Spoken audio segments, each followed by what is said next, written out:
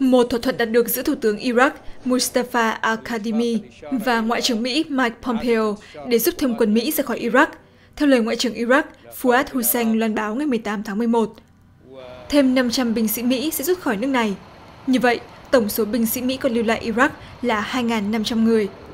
Số binh sĩ còn lại sẽ không phải là những đơn vị chiến đấu và những cuộc họp giữa hai bên đang tiến hành. Quyền bộ trưởng quốc phòng mỹ christopher miller ngày mười bảy tháng mười một xác nhận là việc giảm quân sẽ được thực hiện vào giữa tháng giêng năm hai ngàn hai mốt.